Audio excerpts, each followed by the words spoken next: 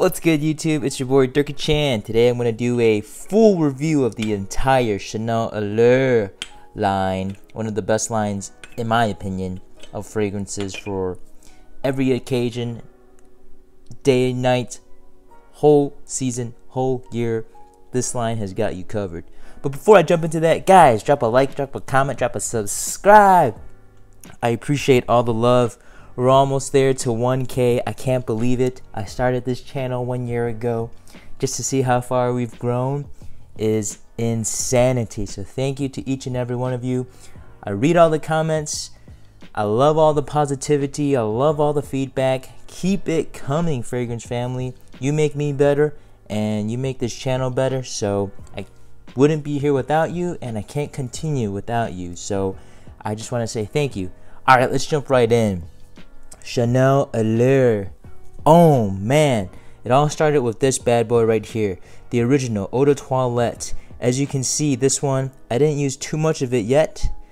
Reason being is that the original EDT is the most grown up, most mature, and most masculine smelling out of all of these. This one you're gonna get peach mixed in with heavy musk and vanilla.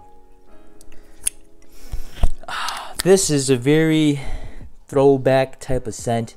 It reminds me of the good old days, the 90s, a nice clean suit or a nice clean button up, very put together, slick back here. This is the cool dad scent. This is the sexy grown up guy scent. Wear this day or night, it does not matter. It just smells like a masculine, sexy kind of guy.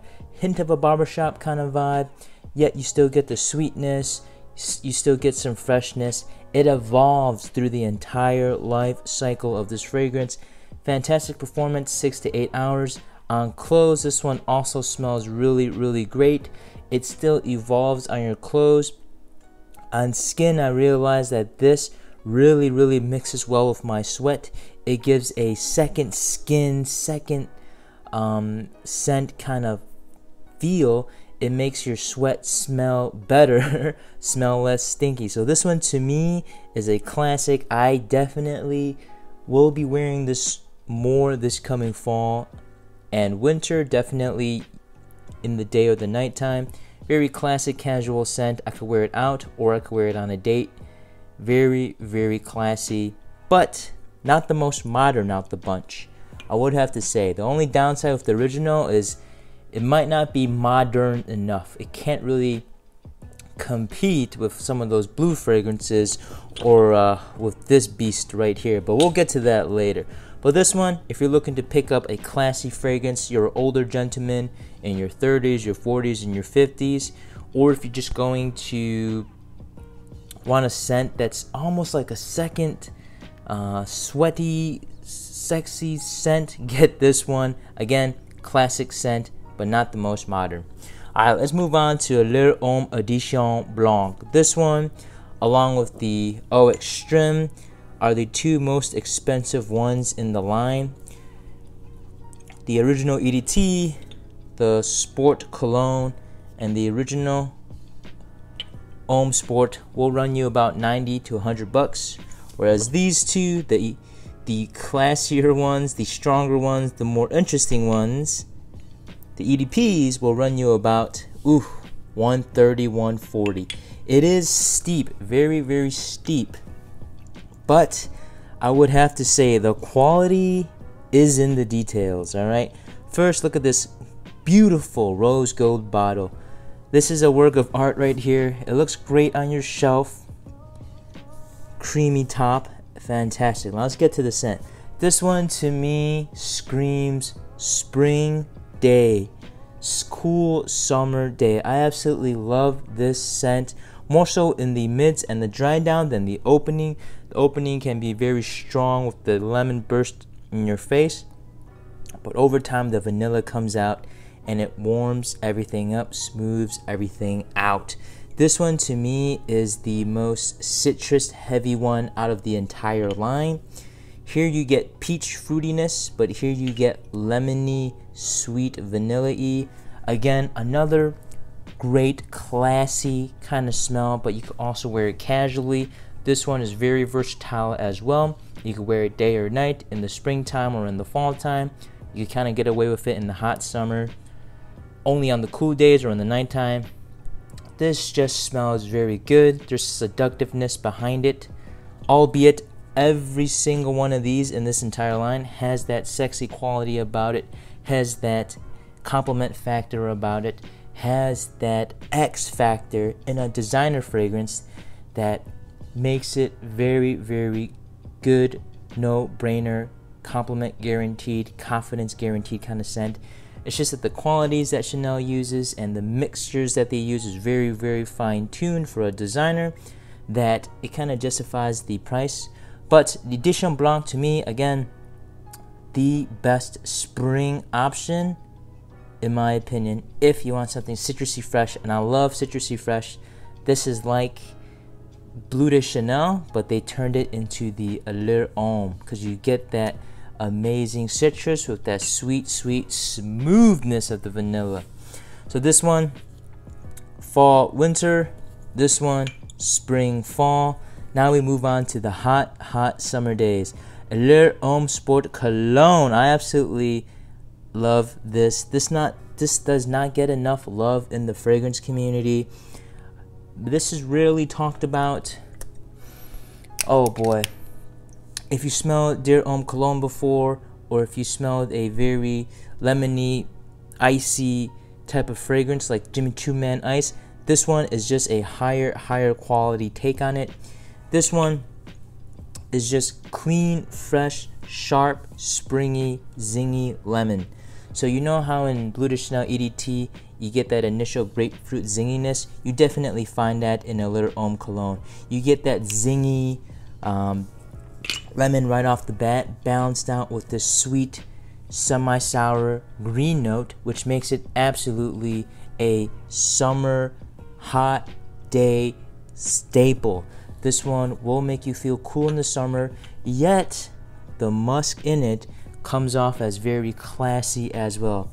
I don't know how Chanel does it, but every one of their fragrances has this classiness to it, has this sense of elegance to it, and I absolutely love wearing it. It makes me feel like I can conquer the day in the summer, even though I'm sweating. I know I'll still smell good. So the Sport Cologne is something I absolutely must have in my summer collection in a rotation. I absolutely love wearing this to the office to a date. It just works in the summer. I'm looking for something simple in the high heat, bam. The cologne is perfect, very classy. Now, my recent pickup is the baby bottle of the Allure Homme Sport. Not the Eau Extreme, but the just the regular Sport. Now, this one to me is very, very good as well. The projection, I would say, is slightly more prominent than the Eau Extreme, maybe because I'm getting nose fatigue, because Eau Extreme is very, very strong. But this one to me is basically you take Eau Extreme, but you strip away all the tonka bean, you add in a bit more of that fresh citrusness and that aquaticness, and you get the Homme Sport. It's definitely a very good fragrance.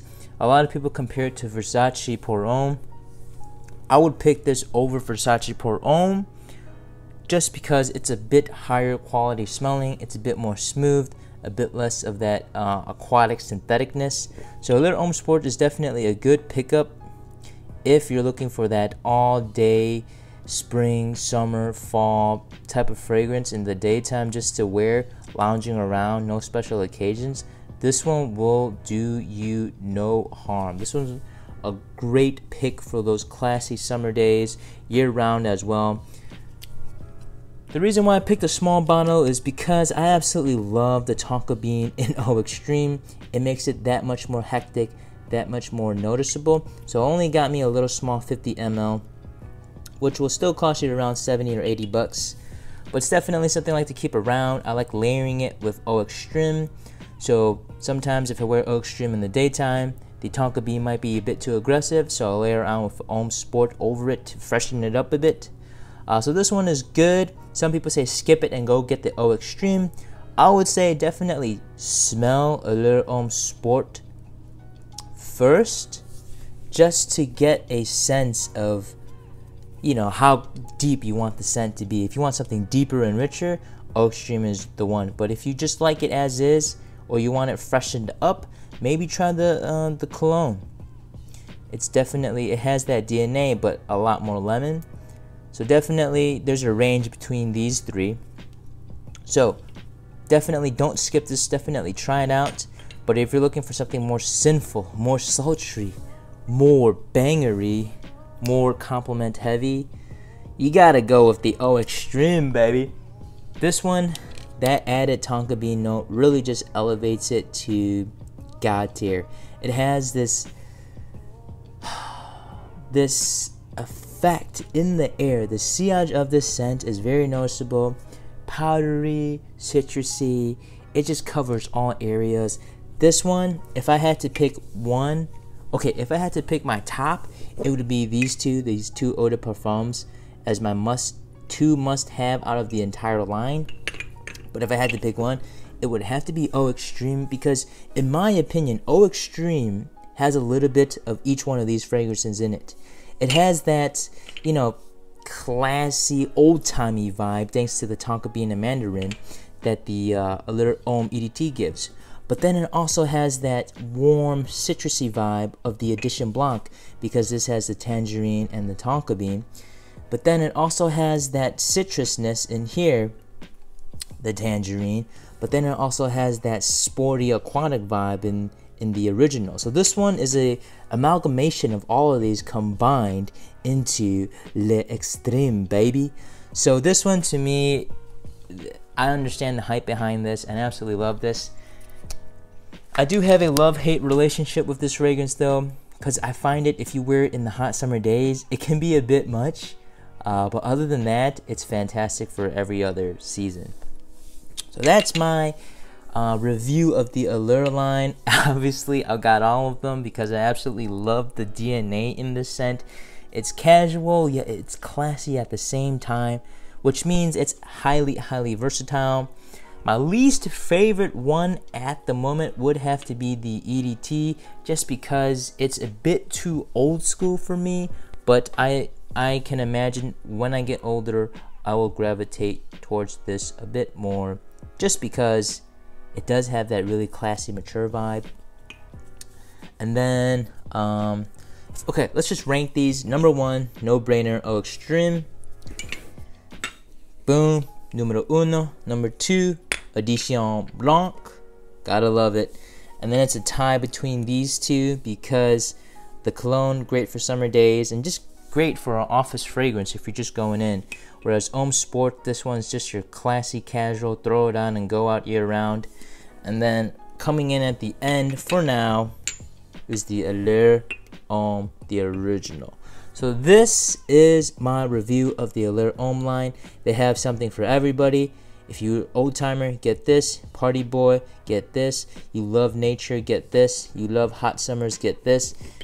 And you just like chilling around, get this. Quite expensive, but I love the quality. Guys, do you agree with my overall assessment of this line? I feel like Chanel knocked it out of the park and it's this line still continues to sell very well across the board. I can't wait to see what Chanel releases next. I feel like whatever they do release next, it's gonna be a banger. They're obviously working on something, I guess. Uh, but yeah, absolutely love this line. Will they make a new flanker? Who knows? I can't wait. But yeah, that's all I have, guys. Let me know if you have any one of these. Which one's your favorite? Which one you like the most? I appreciate the time. I know this was a longer video, but thanks for staying to the end. Peace, guys. Dirky out.